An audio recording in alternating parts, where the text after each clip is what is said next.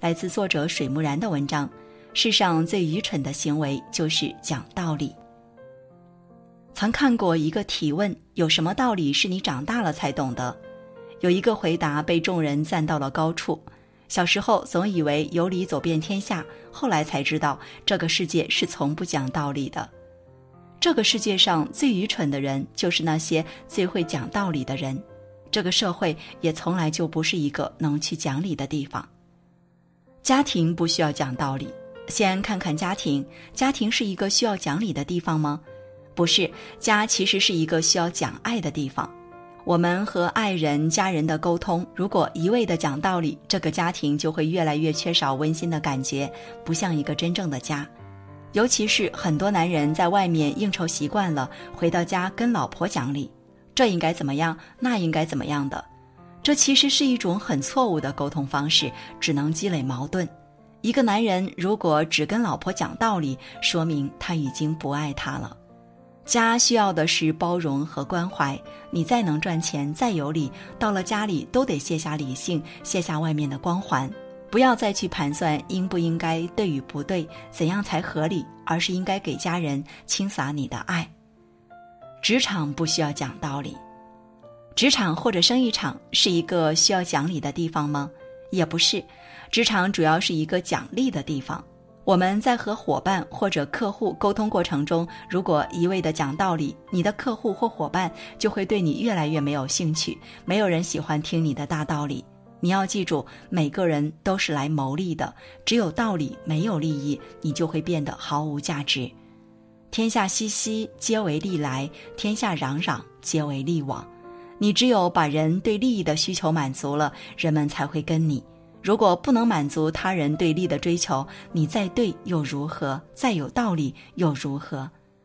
现在大家发现了吧？家庭和工作这两种人生的最常见的场合，都不需要一味讲道理。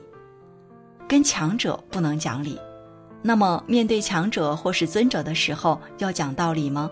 其实也不需要。面对这些人，最需要讲究的是一个字，是礼。比如面对长辈的时候，无论你做得多好，也得表现得恭敬。很多人总以为自己做的是对的，或者有理，就可以在任何人面前理直气壮、肆无忌惮，甚至去冒犯他们，这就是最大的无礼。尤其在面对强者的时候，你就更没有讲理的份儿了。你再有理，也要隐忍不发，让自己处境安全，悄悄地积聚力量。跟弱者不能讲道理，面对弱者的时候，需要讲理吗？也不需要，对弱者最需要讲的一个字是仁。如果我们总对弱者讲理的话，只能说明越来越冷血。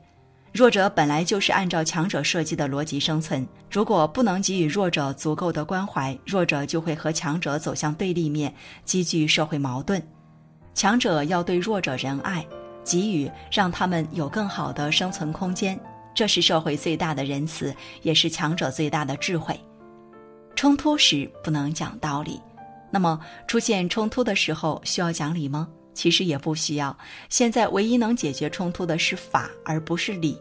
如果只讲理的话，就不会有防卫过当这个罪名了。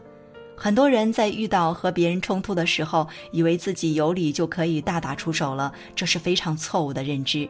现在是怎么处理打架事件的？首先看谁动手，再看谁把谁打伤了。只要你动手了，哪怕你有理，哪怕是你是在自卫，也要负责任。而且，如果你把别人打伤了，得负刑事或民事责任，这跟你有没有理关系并不是太大。动手即违法，这个逻辑同样适用于其他各种软性的冲突。处理冲突时，懂法的人远比讲理的人要占便宜，要更高明。随着法律的完善，未来是一个越来越讲法的社会。面对不公平的时候，需要讲理吗？现实告诉我们，在遭遇不公的时候，单纯靠讲理是解决不了问题的。很多人遇到不公平的时候，发现只讲理没有人睬你，然后豁出去了，在不违法的前提下把事搞大，才能争取到自己的权利。比如之前那个奔驰女车主，车子质量明显有问题，去跟商家讲道理根本讲不通，后来坐在车上拍视频，才把问题解决了。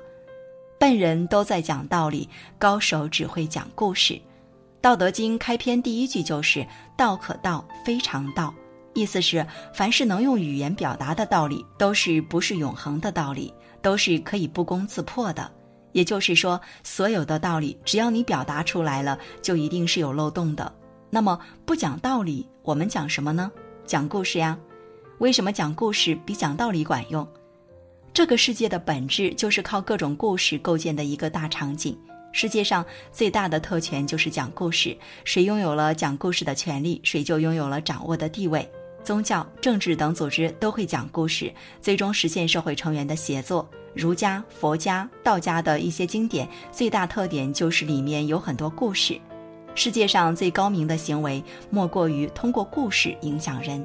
讲故事之所以威力巨大，因为它最大的特点是只有思考，没有答案。所谓大象无形，正因如此，它往往可以颠覆一切大道理。这个世界最终属于那些最会讲故事的人。故事把冰冷的真相变得柔和和浪漫。世人从来不善于接受真相，真相也只有披着故事的外衣，才更容易为人们所认知接受。这个世界是极其复杂且微妙的，我们需要极高的智慧才能看清其中的各种门道。好，今晚的分享就这样。